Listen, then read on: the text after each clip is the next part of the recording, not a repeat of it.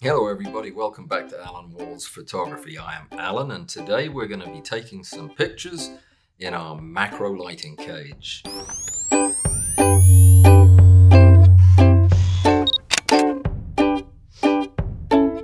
After giving it a lot of thought, I have decided that I'm going to do this in two videos. The reason is a lot of the principles are different for flash lighting and continuous lighting. The skills you need are different, the way you're going to set up your camera and, and the, the lights is different. So rather than uh, make a, a, super long video that could end up confusing people, I'm going to split it into two and we're going to address continuous lighting today. Before we do, there are a couple of general principles that I want to, uh, to bring up. The first, I wouldn't have thought to bring up if it hadn't been for a, a very thoughtful comment uh, from Patrick. Thank you, Patrick. Uh, who had seen the, the video on macro lighting. And he raised the question of uh, Am I not concerned about the low CRI of these inexpensive LEDs that we're using? And the answer to the question was yes, I am concerned, but just not very much. And let me explain why. CRI is the color rendering index of a light source. It basically tells you how accurately colors will be rendered under that light. Now, the, the range of CRIs in LEDs goes from about 70 at the low end to 98 at the high end. A 98 uh, CRI LED is going to reproduce colors very accurately. And if you're using LED to light, say, in the studio, and you're photographing human skin, you would want to use expensive high CRI LEDs. But when the primary goal is to get you started and get you going in macro photography like we are doing in this series of videos, I'm not too bothered by the fact that the colors may not be uh, completely true to life. There are not many people who can look at a photograph of a housefly and say, hey, those mouth parts look awfully red.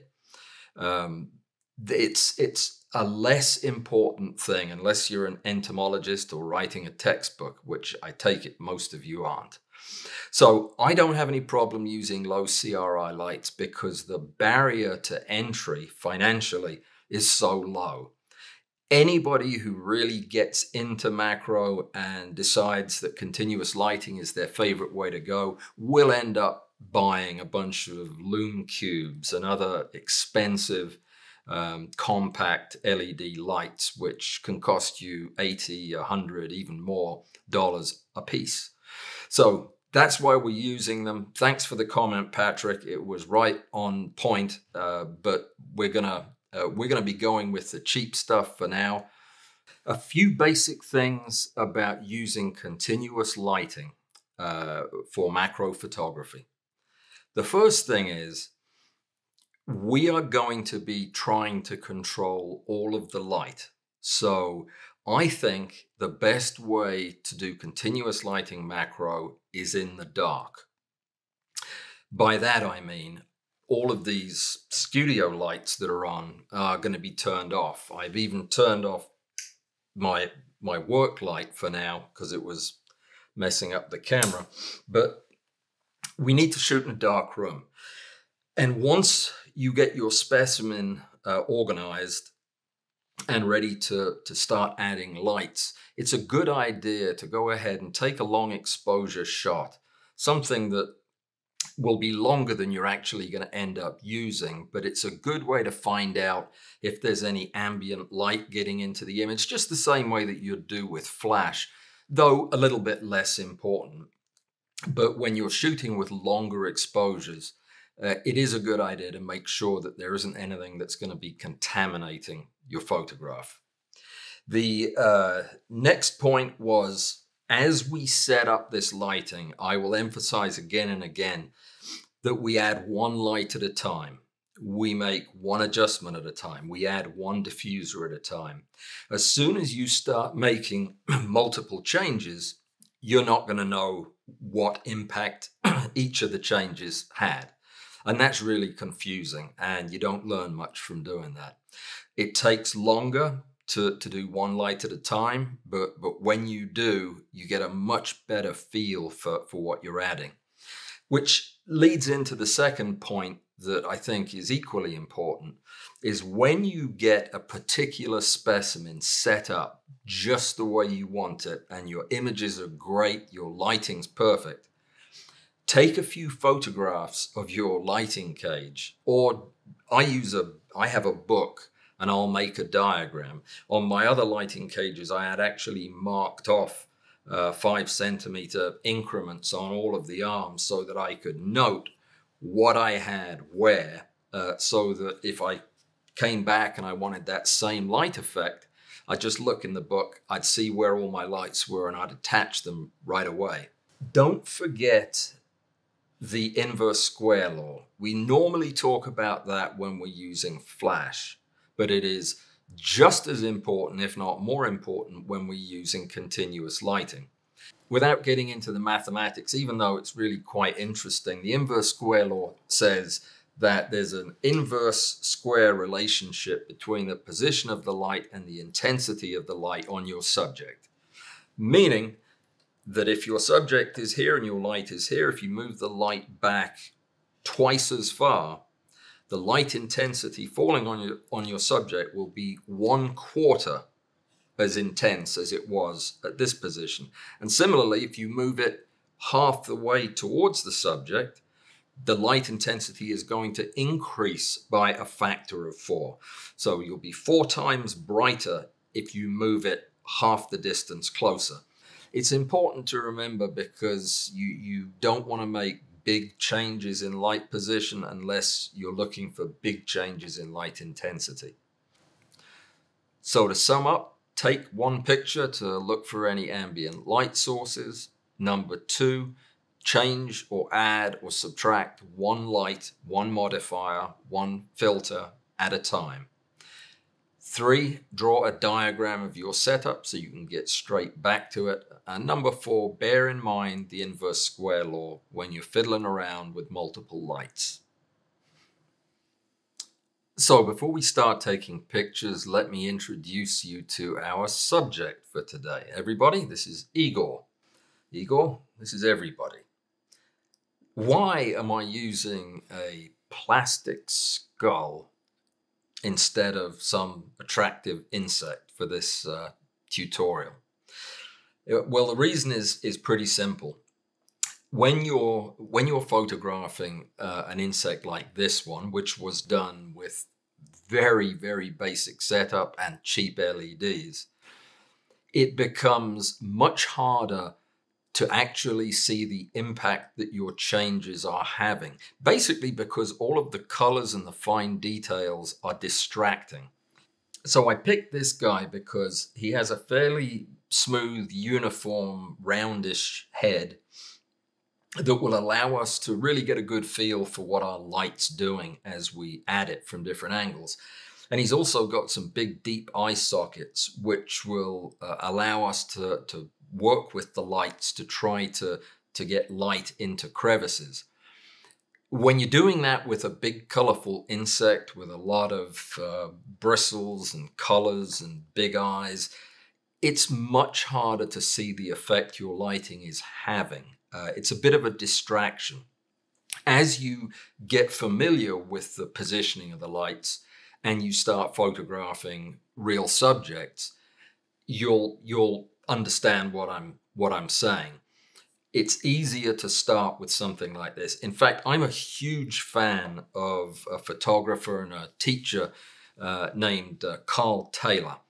Uh, I don't know if any of you are familiar. If you're not, you really, really should check out his site. He's a he's a master. He really is, and he understands lighting better than anybody I know and uh, he just put out a video uh, a week or so ago. I haven't had a chance to watch it yet, but he was doing much the same thing we're doing, only with an egg. He was using an egg as his subject to show how different lighting positions and types had different effects on the surface of an egg, which was which was a brilliant idea. I was already planning on using Igor, but uh, it was reassuring to see that Karl Taylor was photographing an egg. Check him out, seriously. You'll, uh, you'll be impressed. All right, so the first thing I'm going to do, I've positioned Igor uh, using my multi-arm thingamajig and a toothpick skewer so that his head is kind of floating in space. We can take the stick out in Photoshop later, but I wanted to be able to get underneath him as well to, to add light there if necessary. I put a plain uh, white uh, backdrop. This is a piece of foam board. Uh, I have them in all different colors and you can just cut out a piece uh, as big as you need, clip it onto the, to the uh, frame and you've got a, uh, a beautiful backdrop. If you'd rather have uh, an infinite blackness behind your subject, you could remove this. Okay, so the lights are all out and we're going to begin with just a single key light, if you will. This is uh, one of those inexpensive LEDs coming in from above. It's clipped onto to one of the, the top uh, horizontals. You can see it's casting a, uh, a very dark shadow down at the bottom. Let's see, we're nicely in focus. Okay, very underexposed, but it points up an important question. Uh, the shutter speed has to be fast enough to reduce any vibration. And as sturdy as this light table is, when you're when you're using a bendy arm to support your your specimen, you're going to get some vibration. When you're using continuous lighting, you really want to try to get your shutter speed up about um, 100 for, for this 85 millimeter macro lens. Um, 100 is kind of fast for the for the small amount of light we've added so far. But uh, I would urge you to be pretty quick to add some ISO, and uh, you're certainly going to be pretty much noise free up to uh, about a thousand, even on even on this inexpensive camera, and you can really go higher than that. So that's what I'm going to do.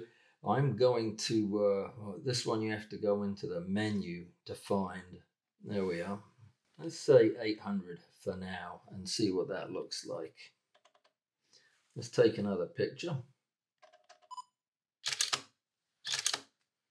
Okay, now we can see that with the one key light, we've got terrible shadows um, in the tops of the eyes. They're not getting any light. There's no light underneath the, the top teeth. About the only thing that's getting uh, getting any decent illumination is his bald head and his cigarette. So one of the first things that I would want to do in a setting like this would be to add a second light from below and in front to get into his eye sockets and get up underneath his uh, front teeth. Now, I have another LED here. This is a, a, different model, but it's one I really like. I'll show it to you later. It's got a built-in diffuser. And even though, again, the CRI of this is abysmally low, uh, it does it does give a nice lighting effect if I can find the button. So let's add that. It's quite bright. I think it has a second switch. Yeah, the one I like about this, it has uh, several LEDs in it, and it can give you this uh, this fairly uh, white uh, coloration, like a, about 5,000 Kelvin. But it also has a, a uh, softer incandescent uh, light as well. It can be both bright and dimmer. So let's stick with a 5000K, which is pretty close to what our other LEDs are. Now let's see what difference that makes.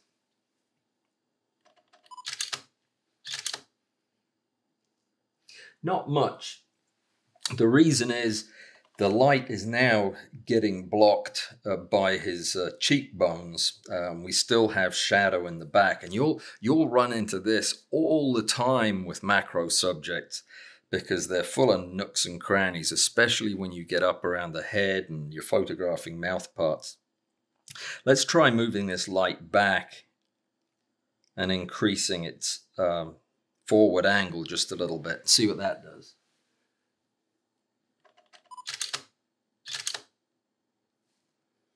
It's better, but uh, I still don't like the uh, the look of the shadows. I think what we're probably going to need to do is add another light. Let's let's try instead of adding one more light from the same angle, let's bring in a, a second LED and then I think I'm going to move the first one over to the other side, but let's see how this one does.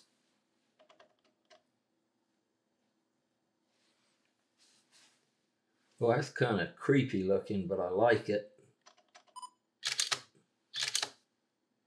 All right, now we can start going back down on our ISO um, because we've added quite a bit of luminance now.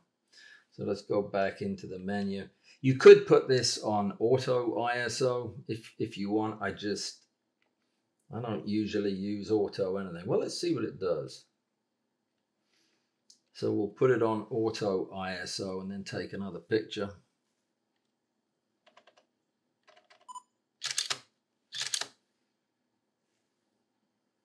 Pretty decent. Now, of course, because we have both of our LEDs, one coming from straight dead ahead, but two coming from the right side, uh, this is when I would switch uh, one of these lights to the other side the more you bend these uh, these bendy arms, the less well they hold their their position because they're under some tension. Okay, let's see what that looks like.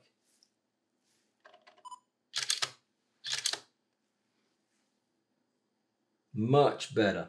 Now we're getting light all the way underneath his front teeth and starting to get some uh, some much better detail. What I don't like is the big looming shadow.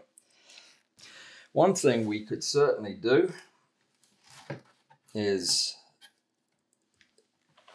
remove the uh, the backdrop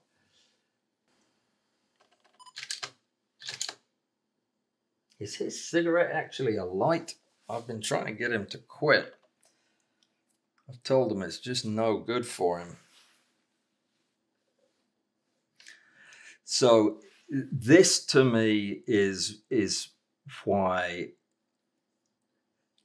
this lighting cage is such a cool tool to use for macro photography because we can make such minuscule changes we could, for example, add a mirror to reflect some of this light back down on the top of his head. Let's take a test shot. Okay, I like that. So to attach that, we'd need to use one of our clamps. When I'm using uh, reflectors or mirrors, I'll I'll position them where I like them, where they're working, where they're putting the light where I want it. And then I will try to figure out what kind of a support I'm going to use. This is the go-to solution for anything that you can't figure out a way to attach is two super clamps on either end of um, an articulated arm. And they make these, like I said, in, in like 12 inch segments, which will literally get to the very center of this cage, which is incredibly useful. So I would just, uh, I just attach my arm to the top here,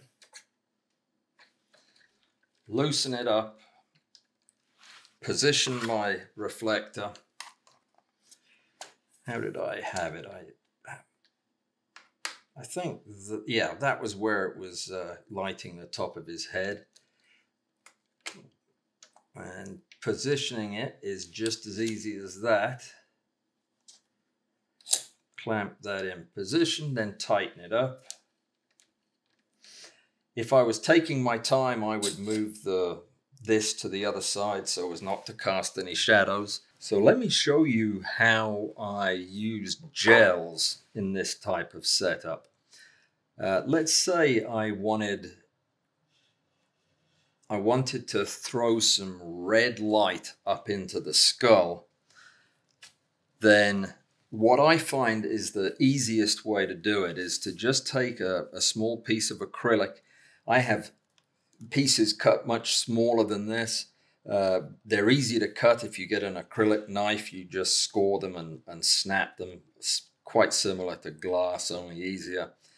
And uh, depending on the size that you want. And then I just take a piece of this uh, super inexpensive foil, uh, not foil, um, cellophane wrapping paper that you can get at dollar stores again. And I just cut a small piece out and I sticky tape it to the acrylic. And what we could do with this, I don't know if you remember my trick for making uh, things stand up, is using a, um, a standard clamp in one corner edge and it'll act as feet. One trick, by the way, that I didn't mention, if you're using these flat type clamps, it's always a good idea to clamp uh, at right angles to the direction of the torque. For example, if you clamp it in line, it will have a tendency to slip uh, around the, the uh, PVC. But if you clamp it at right angles, it, it won't slip. In fact, it'll, it'll hold more securely. Um, so think about that when you're positioning your lights. What's the best way to uh, to make the attachment? Mm, I think that should do it. Let's see what that looks like. There you go. That's a little dull. Remember that gels, even even a one single thin layer of gel is going to take away anywhere from one to two stops of light, and that's important, just like remembering the inverse square law. So one of the other lights that we talked about using was one of these more powerful uh, multi-LED lamps. The problem with these lights is they are really bright. And I would pretty much always recommend that if you're going to be using these, these multi-LED lights, use a diffusion panel. Uh, these uh, I, I, made with uh, little elastic attachments so that they can they can be attached to the light or to the, the arms of the cage or you can just hold it in place and it makes quite a big difference to the quality of the light. It really softens it nicely. These are too glary to use without uh, some kind of a, a diffuser. But they're great, great, great for adding color using a gel. Because you don't get uh, nearly as much uh, light loss. Well, you get as much light loss, but you're starting out with a much brighter light. Another thing that's worth bearing in mind is if you do want your background element to be part of the photograph, uh, you can do what I've done here with one of the LEDs. We'll do it with this one. Would be to clamp your LED onto your one of your uprights and did I just turn it off? No. And then then position it however you want it from underneath to cast light on your backdrop so that you're you're seeing that to the extent that you want to. A better backdrop light would be the the brighter, more powerful LED because we're dealing with quite a bit of distance there. So how close can can we put these lights? Um, very, very close indeed. With the way that we've got this thing framed, you can have your your lights, yeah, easily that close, probably closer than that. you can't change the intensity of a fixed continuous light like you can with flash. So going back to what I said at the beginning, the way that you can control the intensity of your light is by the proximity of your light source to your subject. So if we thought this was nice, but it wasn't bright enough, we might decide to move our clamp closer and then position the light closer. Though that might not be working from below. Let me try it from, um, let me try putting the light here. Yeah, already you can see that in order to to position the light closer, and you can get these things really, really close and then uh, not be in your in your field of view. Clearly, we're going to need a second light on the other side. And that's fine. I, I love multiple lights because they give a real three dimensionality to the to the image. The best way to do this, by the way, and I, I'm not doing it this way because I, I want to show you what's going on, and you wouldn't be able to see if I was, but would be to have the cage turned around and I would be sitting at the end and I would be monitoring all of these light movements through the lens of the camera. That's the only way to do it. So in real time, unlike with flash where you have to take a test shot, look at it, decide what you're going to change and then change it. The beauty of uh, continuous lighting is if your eye is up to the viewfinder, you can make these movements in real time. I didn't show you this secret weapon uh, in the last video, uh, but this thing is, is really awesome for for macro with continuous lighting. This is a mirror on a bendy arm that uh, is made for, um, I think it's made for automobile mechanics to be able to inspect the underside of things. Um, yeah, I, I, I, I'm not sure that I'd be any good at doing that, but this is wonderful for bouncing a little or a lot of light into hard to reach places. In this case, uh, let's say I didn't have another light that I could bring in from the other side. I could position this just using a regular old clamp. Actually, the easiest way to do it is like that. I don't know if you can see that where you are, but I'm just putting it through a regular clamp and clamping it to one of the cross beams. And then you can literally position this wherever you want it. Now, in this case, I wanted it to be a, a little bit to the front and bounce a little bit more light back into that side of the skull. Tremendous. Now that is not adding a light, it's picking up, picking up some of the light from this LED and bouncing it back up underneath the right side of the face. And that really works.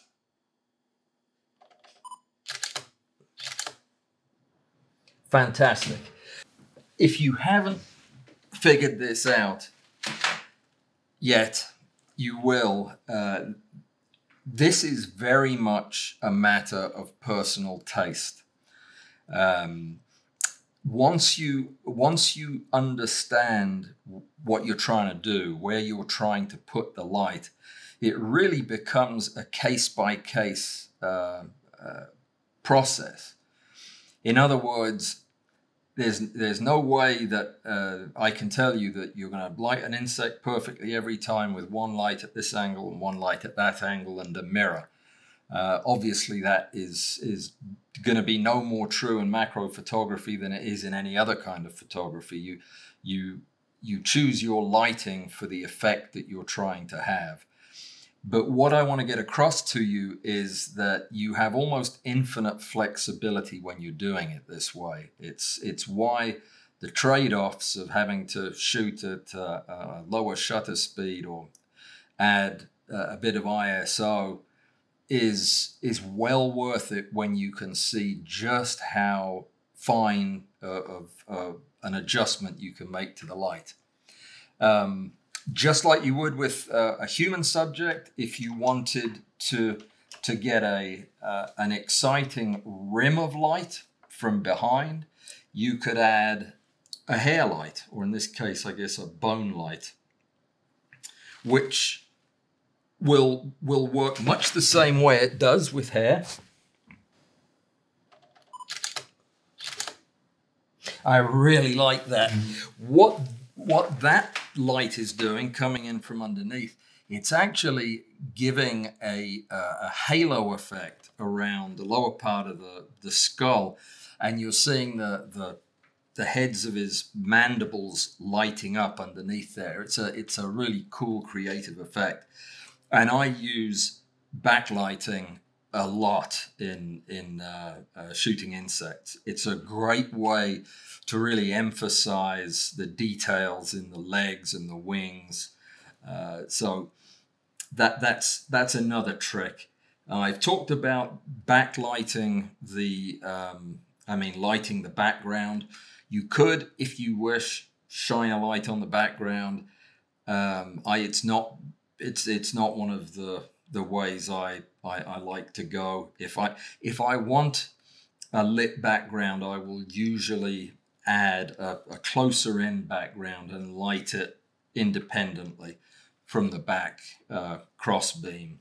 Flashlights. I mentioned them. I use these uh, quite a lot, and I've got all different kinds. They're all cheap. They're all low CRI LEDs.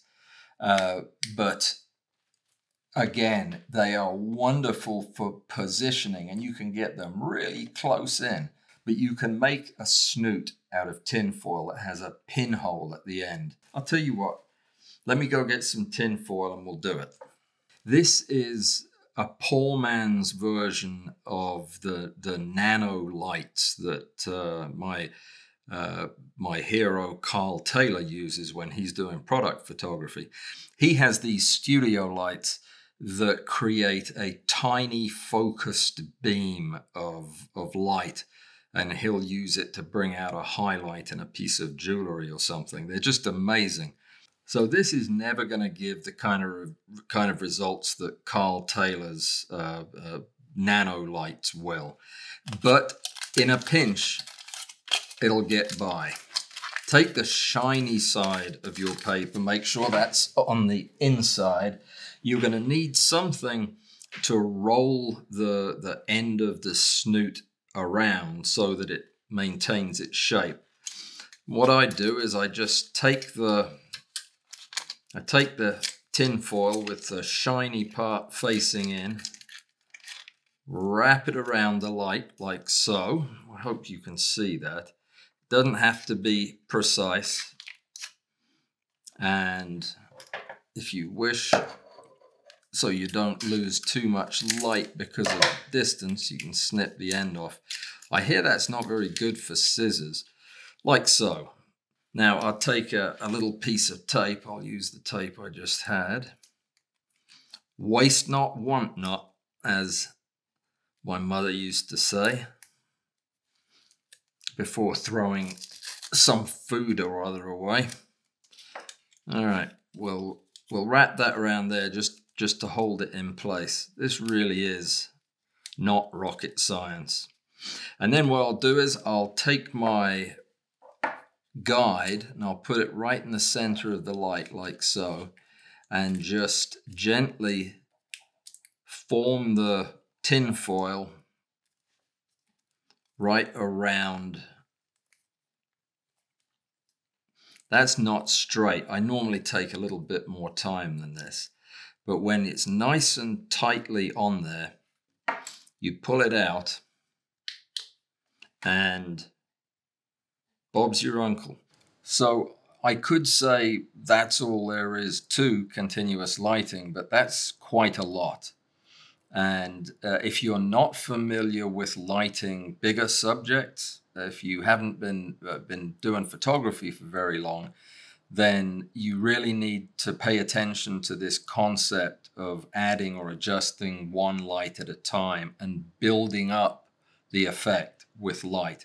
It's really, really important in continuous lighting that you uh, that you take it in a in, in steps and that you check with photographs when you make changes and you know what effects those changes are having, both intended and unintended consequences of adding a light or moving a light or adding a, a filter or a, a, a diffuser. So if you're new to this stuff, you've got some practice that you can be doing now. And believe me, you can you can make some really remarkable photographs with just a couple of lights, or for that matter, a light and a mirror.